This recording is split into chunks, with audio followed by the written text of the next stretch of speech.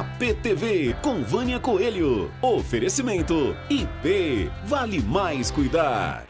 Oi, gente, que delícia entrar na sua casa, ter a sua companhia para mais um programa da família, o APTV.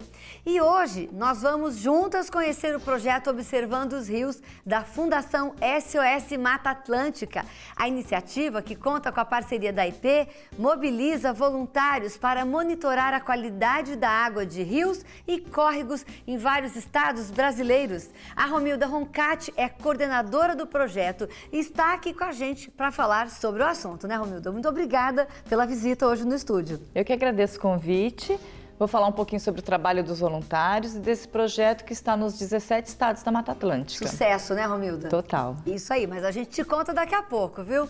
Tem também uma matéria sobre esportes radicais, o BMX, a nova modalidade de Olimpíada de Tóquio em 2020, que inclui manobras com bicicletas. É bem bacana essa matéria e foi feita com o Diogo Canina, o especialista em BMX no Brasil. E a NutriChef Stella Herman já está aqui com todos os ingredientes, preparando um prato delicioso no Receito de Família, né, Estela? Hoje tem um salmão grelhado com lascas de amêndoas e torre de abobrinha. Vocês vão curtir, saudável e saboroso. Delícia, viu, gente? Olha, tá imperdível essa receita de hoje. Então você já sabe, é só ficar aqui comigo porque está começando a PTV.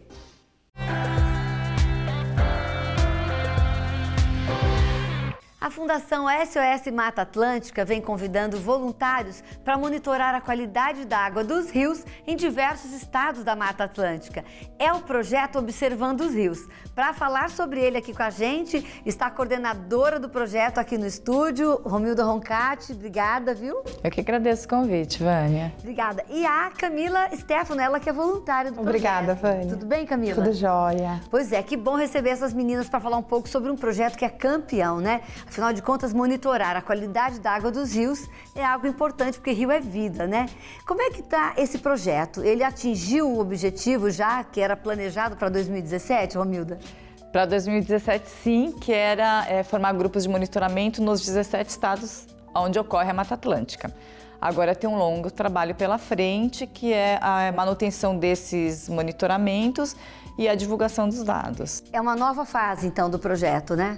É uma nova fase daqui para frente. Quantas pessoas hoje vocês têm como participando como voluntários do projeto, Romilda? São 253 grupos de monitoramento, tem de 10 a 20 pessoas por grupo, então a gente tem cerca de 3.700 pessoas envolvidas no projeto todo, que nos bacana. 17 estados. Mais de 3.700 pessoas. É muita gente, né? É bastante. Séria, comprometida. Sim. Bom, para mostrar um pouquinho pro pessoal que está em casa, eu vou pedir para rodar um VT, porque a gente foi conferir esse projeto aí, né, em loco lá, o pessoal participando nas cidades de Salto e de Amparo. Roda o VT.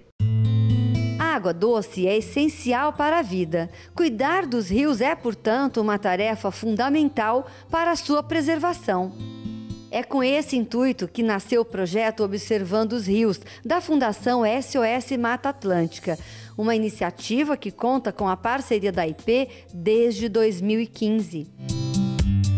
O APTV foi até as cidades de Salto e Amparo, interior de São Paulo, conhecer um pouco mais sobre o projeto. A SOS Mata Atlântica e a IP, por meio dessa parceria, é, disponibilizam para comunidades que constituem esses grupos de voluntários um kit de análise de qualidade da água, capacitação e essa metodologia para que mensalmente esses cidadãos venham à beira dos seus rios eh, e realizem a leitura do que se chama IQA, Índice de Qualidade da Água. Esse índice é definido pela legislação brasileira e por padrões internacionais. A legislação brasileira que trata da qualidade da água dos rios é a CONAMA 357. Nós usamos 16 parâmetros de bioindicadores, que são parâmetros físicos, químicos, biológicos e também de percepção traduzir esses resultados para a sociedade de forma com que elas percebam se há presença de peixe ou não,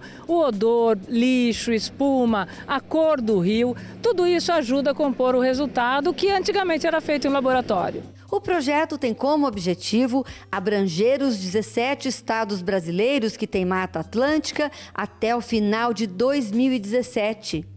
Este projeto possui resultados incríveis quando o assunto é recuperação de rios que antes eram tidos como mortos.